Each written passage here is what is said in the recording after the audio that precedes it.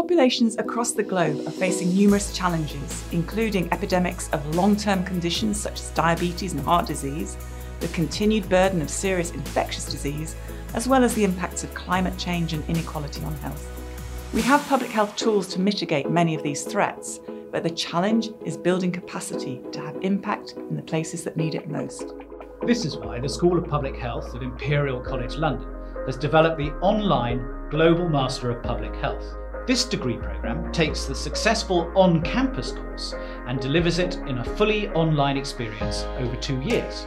Our aim is to increase the public health knowledge and skills base across the globe and in the locations that need it most. The programme would suit anyone who wants to make a positive impact on the world, whether you're a health professional looking to enhance your skills or someone looking for a new career pathway.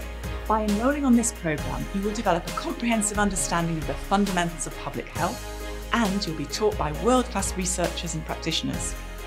You will have the opportunity to tailor your learning experience and to undertake an individual research project, which will give you the skills to tackle public health issues in your own community parts of this programme are openly available via Coursera, allowing you to get a taste of the learning experience and explore key areas of public health.